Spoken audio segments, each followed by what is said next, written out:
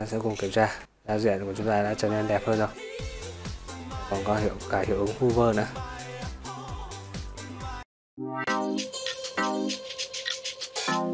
Angular Xin chào Việt Nam và chào mừng các bạn đã quay trở lại với khóa học học Angular trên trang chủ bài số 5 Bài trước thì chúng ta đã hiển thị lên được chi tiết hero và chúng ta cũng đã sử dụng two-way padding để à, ràng buộc dữ liệu hai chiều.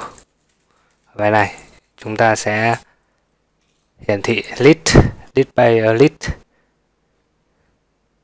Đầu tiên thì chúng ta sẽ create mock hero tức là tạo một uh, class chứa danh sách các hero. Chúng ta sẽ truy cập vào suộc app và tạo mới một folder à, một file ở đây. File của chúng ta sẽ có tên là mock hero. Ts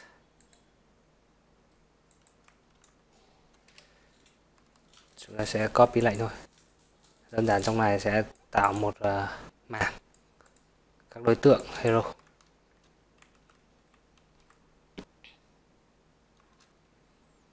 Tiếp theo chúng ta sẽ ừ, thay đổi code ở trong file hero.component.ts đầu tiên chúng ta sẽ khai báo thư viện khai báo file à, hero của chúng ta. Hero.component.ts khai báo này. Tiếp đến thì chúng ta sẽ tạo, khởi tạo hero bằng hero.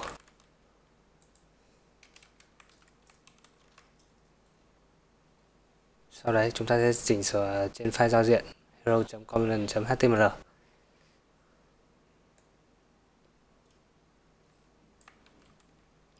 hiển thị danh sách các hero ở trong list chúng ta sẽ paste xuống phía dưới. Và để dùng vòng lặp ở trong Angular thì chúng ta sẽ dùng cấu trúc câu lệnh như sau, sao ng4 bằng let hero of hero. Này sẽ giúp chúng ta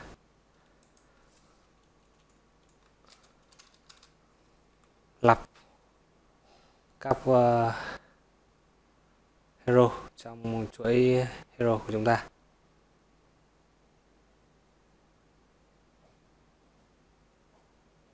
Chúng ta sẽ cùng kiểm tra trên như vậy là chúng ta đã hiển thị ra danh sách các hero ở trong mảng. Nếu như chúng ta không sử dụng sao ng4 thì nó sẽ như thế nào? Tôi sẽ để lại list như cũ này. Thì sẽ hiển thị mình hero windstorm của chúng ta. Chúng ta phải thêm cấu trúc sao ng4 thì mới hiển thị được danh sách các hero.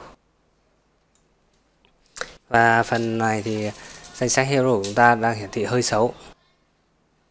ID đang à, dính liền với name của hero. Chúng ta sẽ chỉnh sửa CSS style the hero. Đây component của chúng ta đã có selector này có template này, URL rồi và có style URL rồi.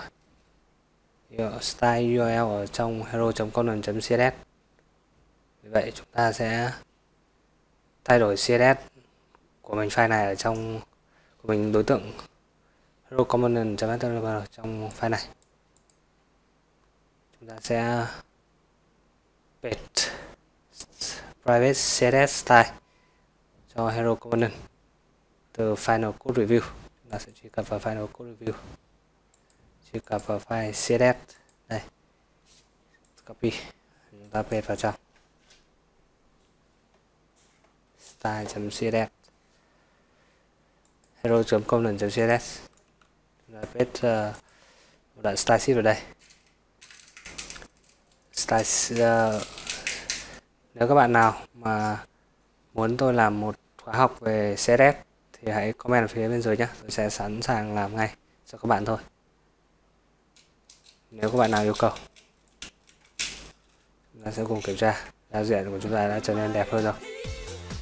Còn có hiệu, cả hiệu ứng hover nữa. Ta để chuột mà không nhấn vào một hero nào nó sẽ lùi vào trong. Ok, bài học ta đến đây.